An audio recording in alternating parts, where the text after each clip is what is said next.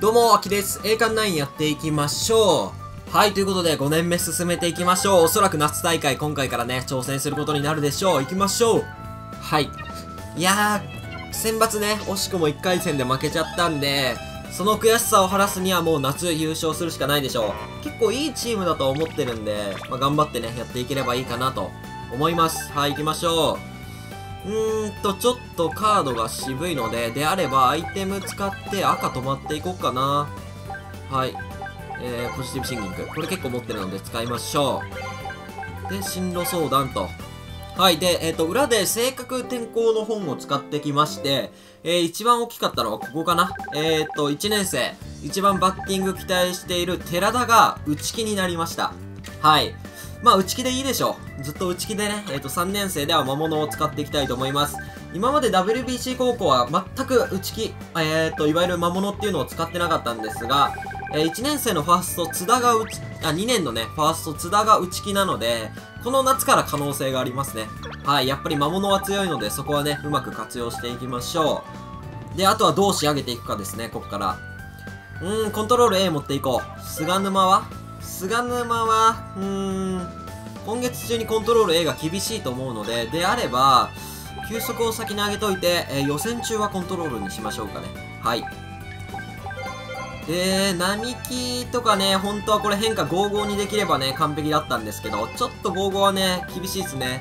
練習指示が来ればできるけど、55になったら第2ストレートも覚えさせようと思ってたんですよね。はい。池上。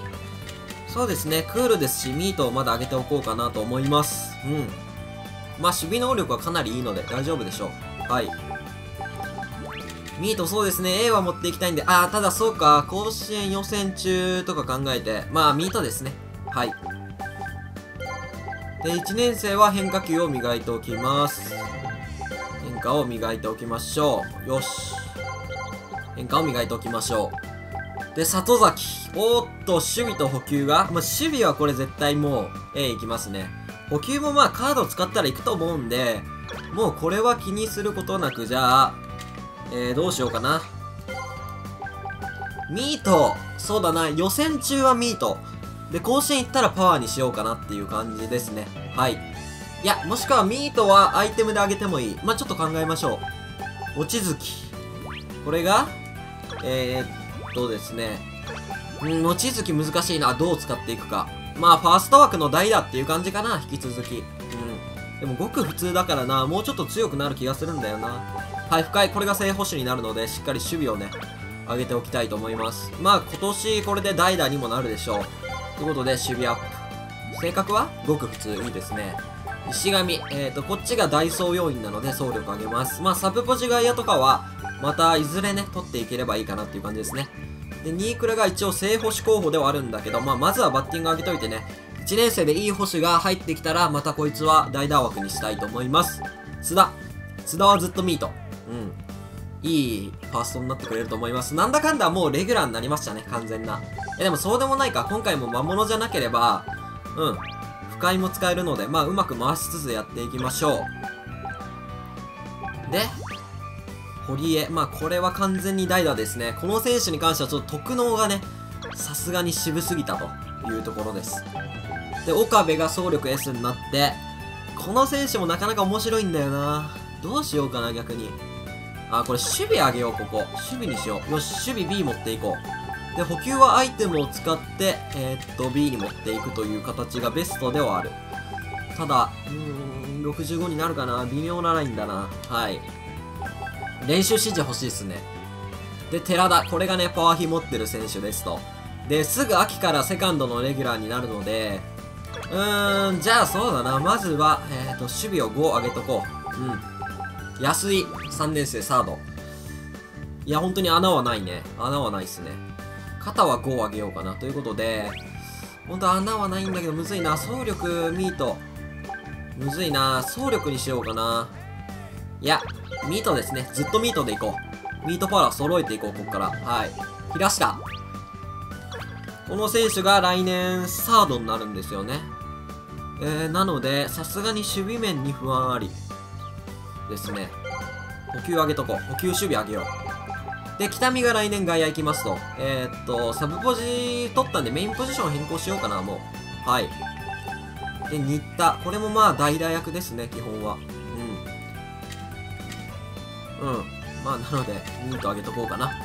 小西さあ、小西もいい感じになってきました。ミート上げましょう。えー、片桐。よし、総力 S いった。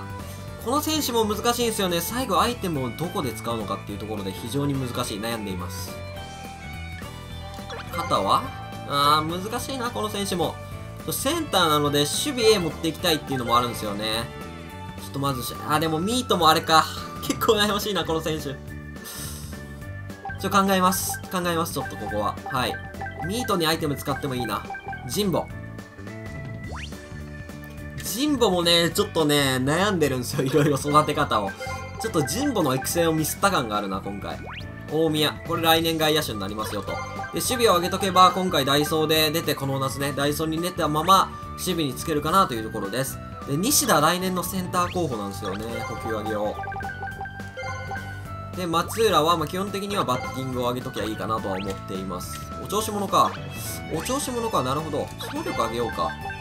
そうだな、こいつ総力にしてダイソー候補でもいいかもしれない。まあ、外野手だし。ダイソー2枚あればね、はい、悪くないかなと思います。さあ、そんな感じで育成を進めていきます。そうだな、そろそろダイソー2枚制度にしよう。よし、信頼度上がった。カードがちょっと渋めではあるんだよな。5のいいカードが来てほしい。アイドル前に。まあ、6月なんでテンション引いても悪くはないですが、まあ腕立て伏せかな。うん、でも、まあ、機材がやっぱり、全部整ってるわけじゃないですからね、現状。仕方ないのか。早く、この夏ね、勝ったら多分、優勝したら機材整うと思うんで、まあ、それは本当に目標にやっていきましょう。そしてね、まあ、甲子園出れば多分強豪戻れると思うんで、強豪戻ろう。選抜、相手が普通に良かったけどな、先発ピッチャーが良かったっすね、あれは。うん。そこが結構ね、やってて大きかったな、相手チーム。と思います。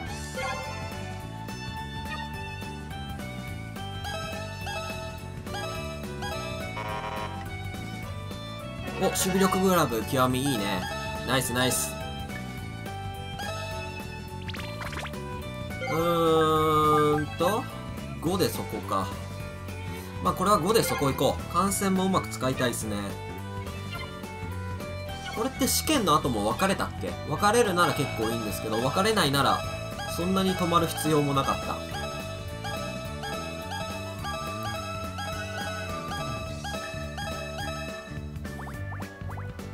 さあ。お、別れる別れる。オッケーオッケー。お、スケジュール見直しもうまく使いたいな。これどうしよう。そうだなあ、わかったわかった。これスローイングして、こ行って、で、観戦使ってスケジュール見直そう。よし、完璧。お、アイドルもいる。よし、夏前に能力上げるぞ。そして練習指示が来てくれれば、すごい嬉しい。あ、でも練習効率、あ、上がったり下がったりしてたらどっちでもいいや。観戦。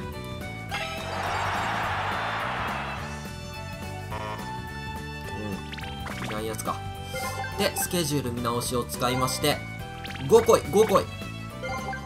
まあ、これにしようかな。はい。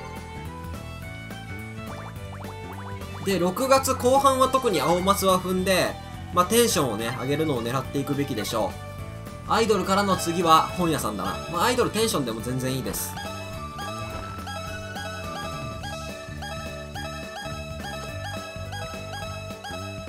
よし、並木のフォークが上がった。ただ練習指示は来ない。練習指示ここで来たらな。めっちゃうまく使えるんだけどな。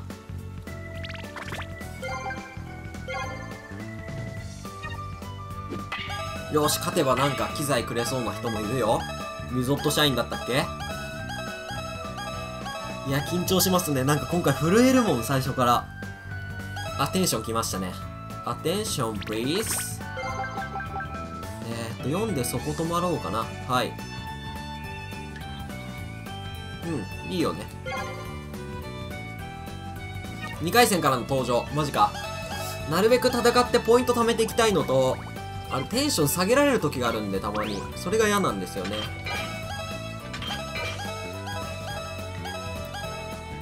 で、今回の予選もそうなんですけど、まあ練習試合で名門相手に2年生ピッチャーがすごい2人ともいい活躍してたんで、まあ1イニングぐらいは本当に2人の力を合わせて投げさせたいなと思っています。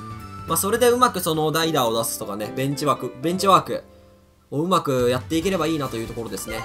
これコントロール上がるよね、もう信じるよ。球速。で、こっちは制球。はい。フォーク磨くはもういい。うーん、シュート磨くこの期間中ずっとやっちゃうともったいないですね。ということで、練習指示待ちで、請求アップだな、二人とも。もったいないよな。練習指示うまく来てくんないかなはい、池上。うん、池上はミートだ、まだ。やっぱ能力の上がりが悪い。そう。投手はね、まあそれだけの元々の基礎値があったからいいんですけど、投手は本当に野手のね、能力の上がりが悪い。変化磨く。変化磨く、オッケー。さあ、で、里崎な補給と守備ちょっと上げたいな。まあ、守備は上がるとして、補給が、あとほんのちょっと上がってくれ。で、ミートはアイテムを使うとしても、こっから全部パワー上げよう。大打者にしよう。はい。望月、ミートアップ。こいつは守備アップ。えー、総力アップ。パワーアップ。ミークラーパワーアップでいい？パワーアップでいいや。はい。津田。ミートアップでいこう、まだ。はい。堀江。まあ、ミートアップかな。岡部。さあ、岡部どうしようかな、本当に。岡部むずいな。ミートもちょっと上がってほしいしな。岡部とりあえずパワーアップだ、君は。はい。寺田。セカンド。総力アップにしとこう、ここ。うん。安い。3年サード。これはずっとミートアップでいいでしょう、もう。安いはアイテムはちょっと使いたくないんだよな。もったいないな、さすがに安いに使うのは。平下は補給。守備だな、次。新田ミート。ジンボ。ジンボ、これで OK。ミート C は行く。総力低いな。いや、でもパワー上げときたいな。パワーいきたいな。ミート。片桐は、この期間、守備でいきます。はい。で、ミートはアイテム使いましょう。片桐はね。守備アップ。総力アップ。西田。補給アップでいこう。北見。さあ、北見、肩が弱いな。肩アップにしましょう。うん、オッケー。さあ、戦っていくぜ夏ね。よし、チャンスメーカーいいでしょう。まあアイテムはまだ使いませんが、はい。食事会使って信頼度上げときましょうか。これ上行くよね、もちろん。はい。テンション落とすな。よし、オッケー。テンションめっちゃ上がってる、多分。で、カードもそんな良くないので、ならず者止まろうか。練習指示来れば嬉しいし。あ、でも今練習指示来ても結構使い方が難しいな。なぜなら、多分競合に上がった瞬間にまたカードが総入れ替えするから。でも今じゃあいいカードがあるかって言われると別にいいカードはないし、ベンチプレスやった持ってなかったんじゃない？ベンチプレス。これ大きい。ベンチプレス。あった。よっしゃーオッケー。で、次、前評判は？ちょっとなぜ、なぜなんだ、本当に。本当になぜなんだ。なぜいつもこういう引きになっちゃうんだ。えー、ちょっと、秋監督、引き運悪すぎないかね。これ監督が引いてるの？それともキャプテンが引いてるの？結構問題だよ、この引きの悪さは。ば。ということで、もう全力出します。ノリノリノリノリ。ここはいいとして、ノリノリ、オッケー。えー、津田、ノリノリ。ノリノリ。ああ、もうみんなノリノリじゃん。堀江。これは使わなくていい。ベンチに入ってないか、そもそも。安井は使おう。新田もいらない小西使おう大宮これもいらないねダイソーだし OK 大体ノリノリ。でアイテムですよね。これを使いましょうと。ミート上げるって言ってたのがまずここ。まあプロ入る選手だけいつも能力を上げてます。であと里崎にも多分ミートアップだよね。よし。で今すぐにでも使っていいのは岡部。岡部が補給かミートが上がった瞬間に使いたいのでちょっと我慢します。うん。安いは使わないな。まあ、3年生使うならここですね。投手は？あ、そうか、2人とももう能力アップ使ってるのか。ん？菅沼戸田、使ってますね。はい。第2ストレート覚えさせましたもんね。ということで、ここまでだ。頼む加藤またまた総合戦力 A とか来るんすよ。うん。いきますね。よし何なんだ一体この引き運の悪さ頼む総戦力 C 来てくれ前評判 A からの安井小西佐藤崎もうこれは佐藤崎ですもちろんで、まあ、小西のね、あの、打率が低いっていうコメントが結構選抜の時にあったんですけど、小西はもともとダイソー上がりで、そのミートがすごい低かったんで、もうただ見てください。ミート B になってます。はい。なので、まあ、こっからね、爆上げしていくと思います。まあ、これは谷口パターンです。うん。一番はやっぱ走れる人、岡部か小西なんですよ、僕の中では。でタイプ見ると絶対これは岡部がね、2番の方がいいと思うというか、2番強打でね、行きたいんで、小西が1番です。池上1番を押す声もありましたけど、池上では盗塁ができないですね。はい。基本1から3番はみんな走れる人の方が得点につながってくる。これは素晴らしい、今年はそういう意味では。で、里崎がしっかり返して、あとがね、繋がってくればというところです。よし。津田で行くよ。ピッチャーは？菅沼か。うーん、まあ菅沼絶好調だし、菅沼でしょう。よし、行きましょう試合開始行きますね。怖え ちょ、1回戦はやめてほしいんだよな、本当に。さすがに。決勝とかではまあいいけど、さすがに。そんな引き運悪いっていう。まあ、2回戦ですけどね実質さあ行きましょう一塁側高校チームシードという制度はないのかっていうねこの県には愛知県には。愛知南 VSWBC 高校。つえー。つえー。うわ2点先制された。2回の裏2点を追いかけます。高校チーム攻撃に入ります。バッターは愛知の大砲里崎。矢部くんじゃないよそれはもう強あ本当に強いわこれは。うわピッチャーやばすぎでしょ。もうピッチャーやばすぎだこれ。うーんなんかライトだけ弱い。キャッチャーもいいっすね。これ走れんな。ピッチャーがやばいな何より。まあ里崎はパワーヒプルヒなので強心引っ張りでしょう。そして威圧感も持ってますよ。いい4番です。これ以上ない4番、本当にこれは。さすがにね。うわー、マジか。よし、1点返した。よし、ノーアウト1塁。ただ、これ、片桐だと、盗塁 D なんで走れないんですよね。ヒットエンドラン5か。追い込まれるまでは引っ張り、強心かける。よし、オッケーフェアになってちょ、ストップ、ストップ。これで、ヒットエンドランに変えよう、作戦を。よし、オッケーよし盗塁できるか微妙なぐらいの選手はヒットエンドランっていう作戦も結構ありですよね。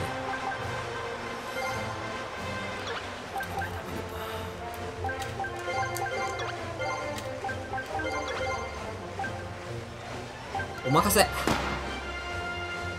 年だし信頼度うんぬんって言ってらんない。信頼度が上がるとかカードが強いやつを選んでいく。よしよしお任せ戦法ナイス。こいついいな。安井かいいな。代打丸もつきましたしね。要所で活躍してくれてるイメージがありますね僕の中で。よし作戦ハマった。で菅沼がもう80球投げてるか。スタミナ上げておきましょう。まあもちろん今年はね2枚看板の年なので無理はしませんがこれでスタミナが S100 まで持っていけるのではい。打たせて取る1か。だったら内角中心でストライク取ろうまず。内角が一番入るイメージがなんかあるんだよな。なぜかは分かんないけど。よーしいいね。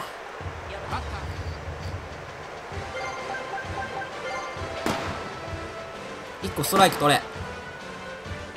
よしお打たせて取れでショートゴロ4番を。お池上。送球 C でしょ確か。スリーアウトチェンジオッケー。二塁ランさあ里崎です。前の打席ヒットエンドラン成功してるんでちょっとここ走らせてみます僕。これ走れないかな？あランナー誰？そもそも。片桐。これ走れないかな？試してみる価値ある。5だったら。どうだ？ギリセーフ。オッケーオッケー。で、えー、っと、追い込まれるまでは、強心プルヒを信じて、追い込まれたらこれは、こうかな？一うーん、そのままでもよかったかな。カードがちょっと低かったなでもノーアウト1、3塁。これは大切にしないと。で、池上来ましたね。とりあえず、精密はもう確定で使いましょう。ダイソーを出す神保に、例えば。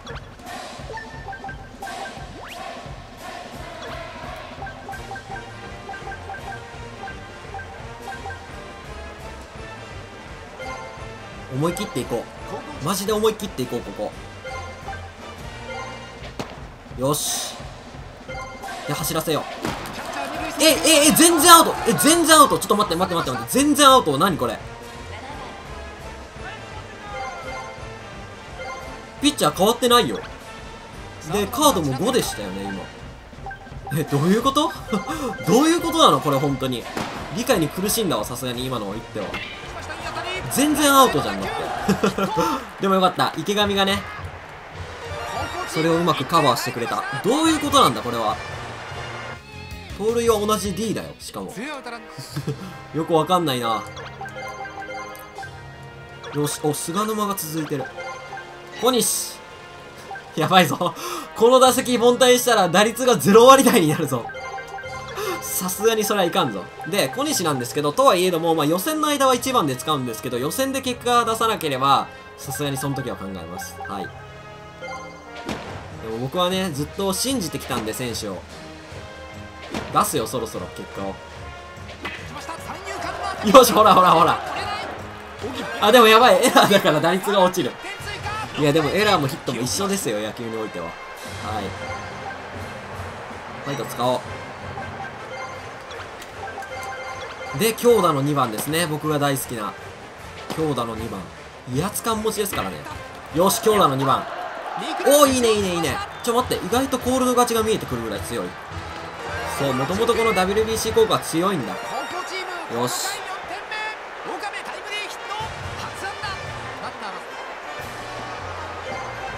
これも精密使ってですね。しっかり打ちましょうやっぱクールも1打席集中いいっすねこれカードが。嫌いじゃないよ。クール嫌いじゃない。オッケー。一番好きなのはお調子。まあ打ち気を除けば除けばですけどね。お調子のあのカードも好きですけど。さあ里崎ここはもうフリーバッティングですよ。ああでもこれホームラン打ったらあれか。まさかの。さよならか。さよなら勝ちになっちゃうかホームラン打ったら。お意外とだからいい試合になってきたよ。コールドが見えてくる試合になってこれ。7回コールドあん？どういうこと？あそういうことか。これ抑えた勝ちか。あ違うわ。待てよ。サード安い。大宮がそのまま外野守る。これでいいよね別に。変えるところはそんなにない。オッケー。あ、そうだ、これ抑えた勝ちだ。じゃあもう投手交代だ。いけ、並木。さあ、並木がね、これ威圧感持ってるんで、うん。今後に期待。ちょ、待ってよ。もっと出していった方がいいか。ファーストはもう使っていくべきだな。少なくとも。外野は2人とも全然使えるんで、えー、っとサードだここで出そうか。さあ来年素晴らしい抑えエースになってほしいこの並木ですね。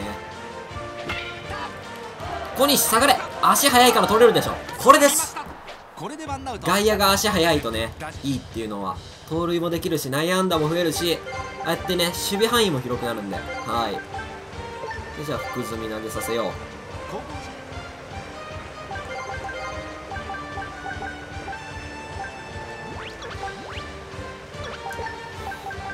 この枠はしっかり投げさせていきたいな。OK これで全員出せる。さあで福住がすごいんすよね。なんと防御率が0.00素晴らしいと思います。年齢出しておきましょうか。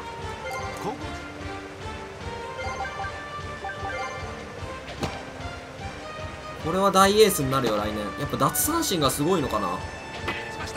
全然打たれる気配がないですもんね。あれ？なんでこんなエラーするのショートショートのーが記録さ池上どうした？能力高いんだぞ結構。まだ投げさせましょうか。